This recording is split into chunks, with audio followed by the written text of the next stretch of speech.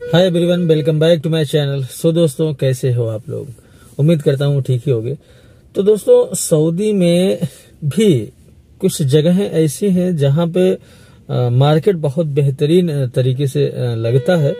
लेकिन ऐसा नहीं लगता जैसे और कहीं सिटीज़ में लगता है कि भीड़ भाड़ वाला इलाका हो। तो उस टाइप का नहीं लगता लेकिन भीड़ भाड़ तो रहता है लेकिन यहाँ पे आदमी से ज़्यादा गाड़ियों का भीड़ रहता है। तो दोस्तों, आज हम इसी ऐसे ही एक जगह पे आए हैं, आप लोगों को दिखाते हैं। यहाँ पे औरतों से संबंधित और मतलब ए टू जेड कोई चीज़ आपको खरीदना है तो यहाँ पे मार्केट है सिर्फ़ और रोड से हट के है। अभी मैं दिखाता हूँ आपको कितना दूरी पे है, बहुत बेहतरीन तरीके से। तो चलिए, बने रही वीडियो में, आप लोग देखिए। तो दोस्तों, जितने भी लोग हमारे चैनल पर नए हैं, प्लीज़ हमारे चैनल को सब्सक्राइब कर ले और बेलाइकन को ऑल प्रेस कर ले। तो देखिए, ये मार्केट है। तो दोस्तों, ये मार्केट है और एकदम कंजेस्टेड एरिया है। ये राइट साइड में और लेफ़्ट साइड में दोनों तरफ़ है। आपको दोनों तरफ़ का दिखाते हैं।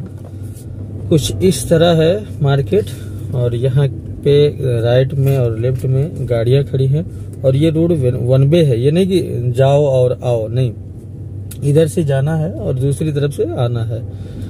एक ही तरफ़ का सिस्टम है यहाँ पे।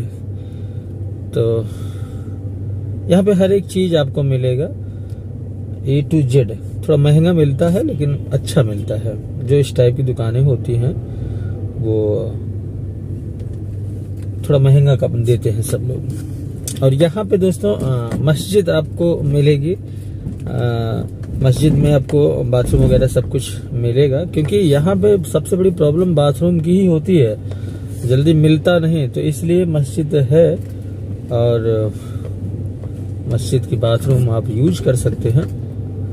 और ये मॉल है स्लीपर, इसमें घरेलू संबंधित कोई भी आइटम आपको लेना रहेगा तो मिल जाएगा।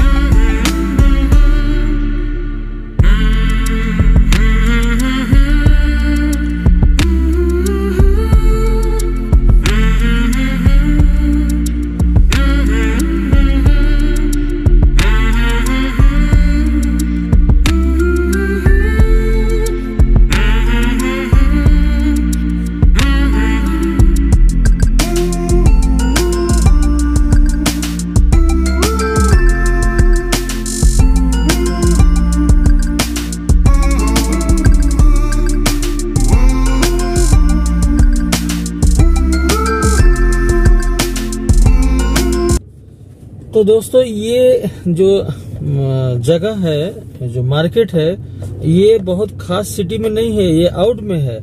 और किस टाइप का है, आप लोगों को मैं दिखाऊँ। यहाँ पे बस्ती है, आपको मैं बस्ती का नज़ारा दिखाऊँ, ताकि आप लोग देखो कि आउट में भी इतना ज़बरदस्त और वीआईपी दुकानें होती हैं, और कितना मस्त होता है। ये देखो, नया आबादी बनी हुई है, नया घर बना हुआ है, मैं आपको दिखाऊँ। दोस्तों, ये सब नया बना हुआ है, क्योंकि अभी एकदम नया ही दिख रहा है न्यू बना हुआ है। और यहाँ पे अभी एक तरफ़ राइट में आप लोग देख रहे हैं, बना हुआ है और लेफ़्ट में जगह खाली है। यहाँ भी बनेगा, कुछ नहीं तो साल, दो साल में यहाँ भी बन जाएगा। और ये एकदम मान के चलो, अगर माना जाए तो देहात का टाइप में आता है ये आउटर में आता है। अभी बहुत जल्दी यहाँ पे सब रिहायशी बना हुआ है, रिहायशी इलाका हुआ है ये। और देख रहे हैं यहाँ पे कितनी ज़बरदस्त तरीके से मकान वगैरह सब कुछ बना हुआ है। और यहाँ पे ये सामने स्कूल है, मदरसा जिसको बोलते हैं। तो जहाँ रिहायशी इलाका होता है, वहाँ पे यानी यहाँ पे मदरसा पहले था, पहले से था मुझे लगता है। उसके बाद यहाँ पे सब लोग रहने के लिए रिहायशी टाइप में बना दिए हैं। और ये इतना अच्छा लगता है यहाँ पे, आप यकीन करो कि क्या ही बताएँ। अब यहाँ देखो, हम दूसरी गली में आ गए और यहाँ पे बाकायदे बढ़िया से दोनों तरफ़ जो है मकान वगैरह बन गया है। और ये सब न्यू है अभी, एकदम नया बना हुआ है। मान के चलो कि ज़्यादा से ज़्यादा चार पाँच साल हुआ होगा बने, इससे इससे ज़्यादा पुराना नहीं है। तो ये सामने से धूप लग रही है और इसलिए, क्योंकि यहाँ पे आपको सारा जगह वीरान ही नज़र आएगा। उस हिसाब से देखा जाए तो बहुत ज़बरदस्त तरीके से ये रिहायशी क्षेत्र बना हुआ है। और ये देखिए ये सब अभी नया बना हुआ है। ये गलियाँ ये आ, एरिया ये क्षेत्र यहाँ पे थोड़ा ज़मीन सस्ता है ठीक है? हम लोग जहाँ रहते हैं वहाँ से यहाँ पे लगभग आधे के दाम में होगा ज़मीन क्योंकि मेरा कफिल भी इसी क्षेत्र में अपना मकान लिया हुआ है। तो कैसा लगा आप लोग? ज़रूर कमेंट में बताइएगा। ये जो आप लोगों को मॉल हम दिखाए हैं, उसका पीछे का एरिया है। ये सब पीछे का एरिया है वहाँ पे और एकदम खाली है। यहाँ पे कोई घर वर नहीं है। अच्छा यहाँ पे देखिए, रोड भी बढ़िया बना दिए हैं और रोड तो इतना चौड़ा होता है कि अब क्या ही बताएँ। वो ज़बरदस्त तरीके से रोड बनाते हैं। जहाँ भी आवासीय क्षेत्र होता है, जहाँ रिहायशी इलाका होता है। अच्छा एक चीज़ आपको मैं बताना भूल गया। ये बिल्डिंग है, घर नहीं है, बिल्डिंग है, ठीक है? यहाँ पे सब अपार्टमेंट बना हुआ है। अधिकतर लोग किराए पे रहते हैं, कुछ लोग ले करके खरीद करके खुद का अपना रहते हैं। ये सब एक एक एक बिल्डिंग में दस दस बीस बीस परिवार इसमें रह सकते हैं, उस हिसाब से बनाया गया है। तो और आगे तक आप लोगों को दिखाता हूँ। ये पूरा क्षेत्र, पूरा एरिया जो है एकदम वीरान हुआ करता था, अभी कुछ दिन पहले। लेकिन यहाँ पे बहुत ज़ोर शोर से काम चल रहा है। राइट साइड में आप देख ही रहे होंगे मकान है ही नहीं है। लेकिन सामने देख रहे हैं सामने बिल्डिंगें बन के रेडी हुई हो गई हैं। और यहाँ पे खूब बेहतरीन तरीके से अ, देख रहे हैं। ये सब राइट में लेफ़्ट में ये सब देखिए बिल्डिंग ही है। और इस बिल्डिंग में जैसे कोई अपार्टमेंट अपार्टमेंट लेना चाहता है कोई फ्लैट लेना चाहता है तो उसी फ्लैट में लेकर के अपना रहता है जैसे कैसे सिटियों में रहता है। उसी टाइप का यहाँ बना हुआ है। आप फ्लैट ले ले, ले सकते हैं लेकर के बहुत लोग रेंट पे भी रहते हैं किराए पे। अच्छा सऊदी में अधिकतर लोग मैंने सुना और देखा भी है कि नाइन्टी परसेंट नहीं तो अस्सी परसेंट कन्फर्म मान के चलो सऊदी में लोग रेंट पे रहते हैं किराए के मकान में रहते हैं। उनका खुद का कोई मकान नहीं होता। उम्मीद है आप लोग पहले भी हम बताए हैं इस चीज़ के बारे में कि सऊदी में अधिकतर लोग किराए के मकान में ही रहते हैं। इन लोगों के पास खुद का मकान नहीं होता। बाद में पूरा ज़िंदगी गुजार देते हैं धीरे धीरे उसके बाद अपना खुद का मकान बनाते हैं रहने के लिए। बहुत सब कुछ गुजर जाने के बाद जब 50 साल की उम्र होती है, तब जाके ये लोग अपना हाउस के बारे में, घर के बारे में सोचते हैं। तब कोशिश करते हैं लेने के लिए। अच्छा यहाँ पे लेफ़्ट में देख रहे होंगे, हो सकता है। बोर्ड भी लगा हुआ है कि घर या प्लाट लेने के लिए संपर्क करें। यहाँ पे सब प्लाटिंग वगैरह हो करके रखा हुआ है। और ये रॉन्ग साइड से गाड़ी लेकर के आ रहा है। हम तो डर ही गए, कहीं ठोक ठाक न दे, लेकिन और ये लेफ़्ट में देख रहे हैं, कुछ मकान अभी जो है निर्माणाधीन है, यानी बन रहा है। और ये सब बहुत ज़बरदस्त तरीके से बना हुआ है। अब कुछ दिन में ये बहुत ज़बरदस्त रिहायशी इलाका होने वाला है। तो वीडियो कैसी लगी आप लोग कमेंट में ज़रूर बताइएगा। मज़ा आ रहा हो तो लाइक कर दीजिए। और चैनल को सब्सक्राइब तो कर ही दिए होंगे, उम्मीद है। क्योंकि चैनल को अगर सब्सक्राइब करेंगे तभी ना हम आपको और अच्छी अच्छी चीज़ें दिखाएँगे। बाकी न्यूज़ बताने वाले तो बहुत सारे चैनल है लेकिन सऊदी दिखाने वाले कम चैनल आपको मिलेंगे। और हम कोशिश करते हैं आपको दिखाएँ यहाँ की व्यवस्था यहाँ के रहन सहन यही सब चीज़ आपको दिखाएँ हम।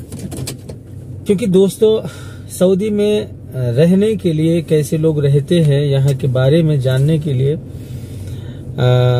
बहुत ज़रूरी ये है कि यहाँ जो रहने आते हैं वो लोग अगर जाने रहेंगे कि यहाँ पे रहा कैसे जाता है, यहाँ का नियम कानून क्या है तो हम अपने चैनल पर वही सब चीज़ दिखाते हैं ताकि आप लोगों को यहाँ पे रहने में कोई दिक्कत ना हो। क्योंकि सऊदी में मान के चलो 80 परसेंट लोग विदेशी रहते हैं, ठीक है? सिर्फ़ 20 परसेंट लोग ही लगभग पूरा एक्चुअल मैं आंकड़ा नहीं बता रहा हूँ, लेकिन इसी के समथिंग मान के चलो कि विदेशी सऊदी में रहते हैं।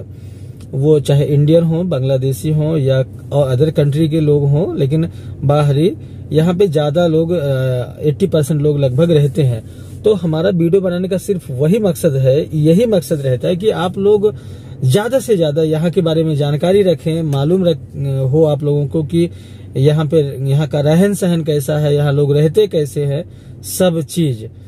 तो उम्मीद है आपको ये वीडियो पसंद आई होगी। दोस्तों, वीडियो को करते हैं खत्म। ज़्यादा बड़ा वीडियो बनाने की कोशिश नहीं करेंगे। फिर मिलते हैं किसी अन्य वीडियो में, दोस्तों। वीडियो खत्म करने से पहले आप लोगों से रिक्वेस्ट है कि जितने भी लोग हमारे चैनल पर नए हैं, प्लीज़ चैनल को सब्सक्राइब कर लीजिए और बेल को आल पे प्रेस कर लीजिए। वीडियो को लाइक ज़रूर किया कीजिए, दोस्तों। चैनल को सब्सक्राइब और लाइक अगर आप करे रहेंगे तो आपका तो कोई नुकसान नहीं होगा, लेकिन हमारा हौसला बढ़ेगा। तो मिलते हैं फिर किसी अन्य वीडियो में। तब तक के लिए बाय, टेक केयर।